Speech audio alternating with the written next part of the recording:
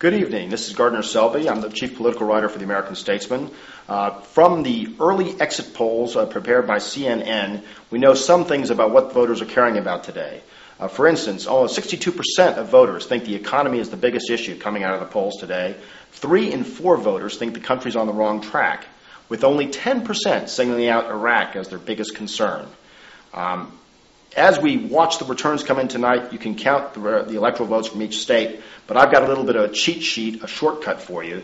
I recommend watching only this conglomeration. Are you ready for it? This conglomeration, Flor-Ginny-Osylvania. That would be the states of Florida, Virginia, Ohio, and Pennsylvania. Why those states? They only comprise 81 electoral votes, and that's 8% of the total. But the first three states, Florida, Virginia, and Ohio, were won by Bush four years ago, with Pennsylvania taken by John Kerry. It's very important to both candidates that they do well in those states, and that might signal which one is going to ultimately prevail by the end of the night.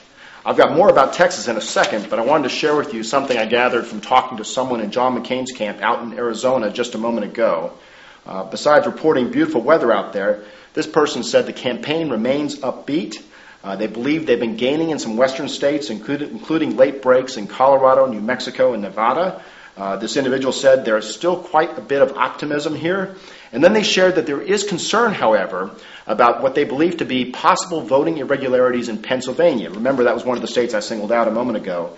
Uh, supposedly, some McCain voters have been intimidated, and then uh, some arrived to find voting machines early in the morning where they believe votes had already been cast before they got there.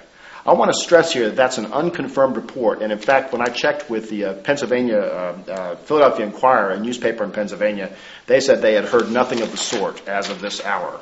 Uh, that, so that's at least a concern in McCain's camp.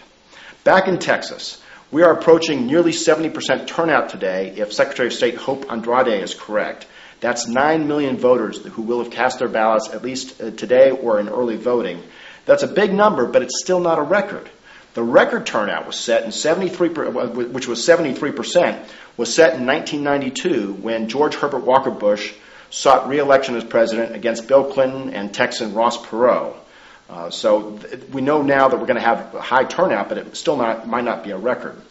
Uh, Andrade, when I spoke with her today, told me she'd be happy if more and more people voted early.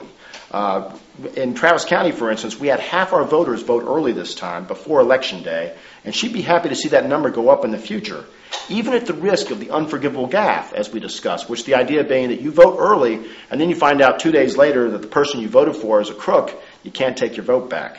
That's kind of a funny wrinkle of the early voting uh, parade that we're all enjoying in Texas.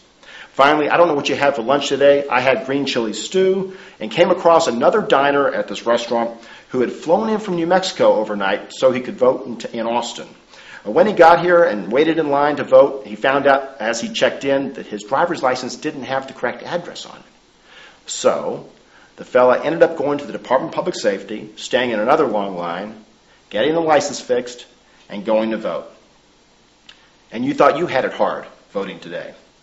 I'll have more later.